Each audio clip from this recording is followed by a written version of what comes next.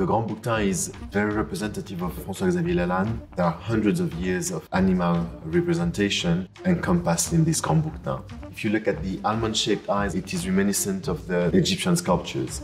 And then you suddenly have his mouth, which is just a simple horizontal line, which is almost invisible.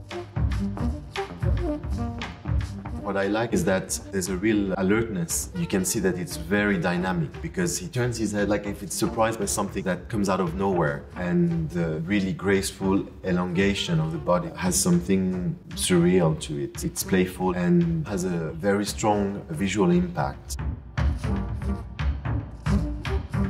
There's an importance to this work because today François-Xavier Lalanne is considered one of the most important sculpteurs animaliers of the Western world because his animals have a touch of fantasy, a touch of surreal, or they have something not completely naturalistic, so there's always a little twist. It's so full of characters, it's like Alice in Wonderland.